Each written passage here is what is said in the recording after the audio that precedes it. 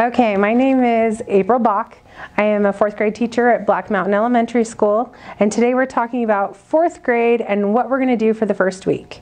So, the first week we are talking about how our country was formed, and a lot of things that are going on right now currently in our society, we're getting to see how those things are forming and who has control over what different types of economies and how they're taking effect locally versus federally over the entire area. So our groups are formed when they moved from Europe. Initially, they began in Europe and came over on the Mayflower. So during that time, when they came here, they showed up with virtually nothing.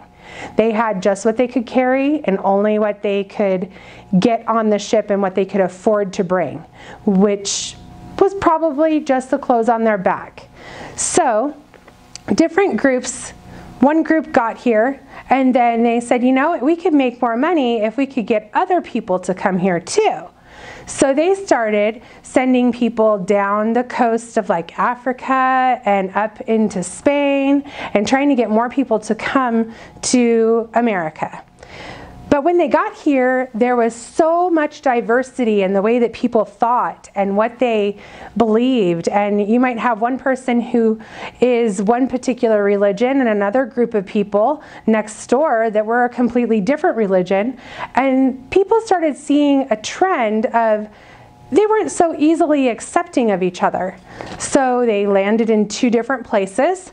Um, in, six, in, 16, in the 1600s, the colonies first came to Jamestown, Virginia, and then they had another colony that formed lower down, which they called the South, and that was in New England.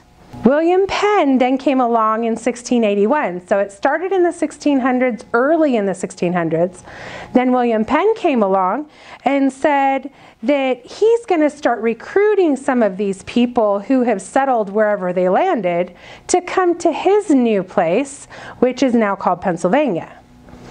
In these with these different colonies and these different groups forming, they needed some sort of guidance for government. People wanted to hold them accountable for things.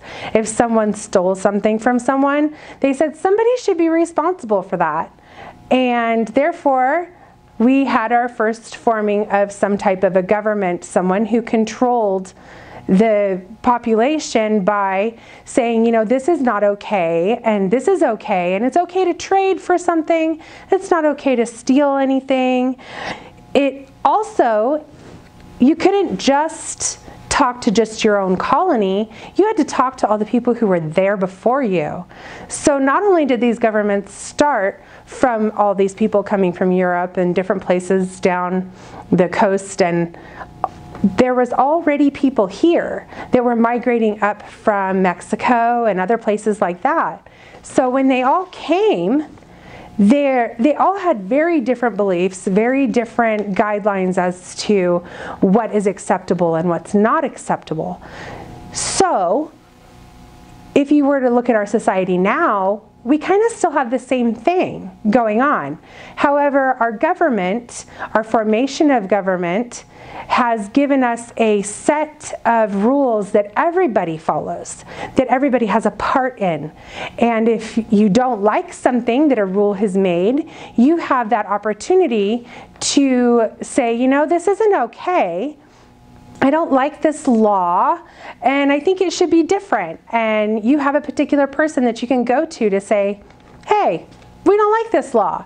And they will come and we will go to them. They won't come to us, most likely, but it's happened.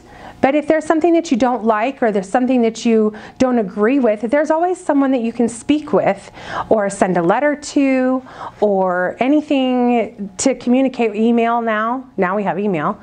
And you can call to, to, let them know that you disapprove of that. And there's a process to go through. And all of these processes and all of these communications that we have to talk to someone to change the rules began at the very lowest part when we first came over. And it's adapted and adapted and adapted as more and more people have arrived and been become part of our society.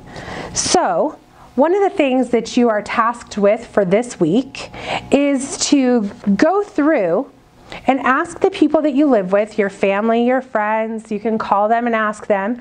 But I have some questions and you'll get it digitally as well if you're on that part, if that's what you're doing and you're not doing a packet. But if you're not doing the computer and you have a packet and you have the opportunity to see this video, I have an assignment for you and it's a fun one because you're gonna learn how to do things or you're gonna learn more about your family than you knew before. So your first question, you're going to go around and you're going to ask your family and friends four questions. The first question is, what country are their ancestors from? Do they know where their ancestors came from initially?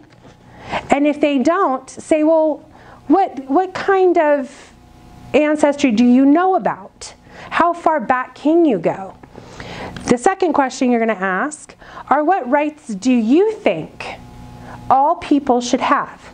That means not just you personally, but what do you think, what does your family think about what rights they should have? What is should be given to them automatically? Any person. Your third question is, what do you think life was like before coming to America?